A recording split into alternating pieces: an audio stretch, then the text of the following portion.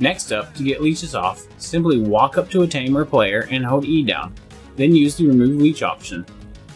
If you are alone, just make a campfire and put it down, and hop on top of it and it'll kill the leech.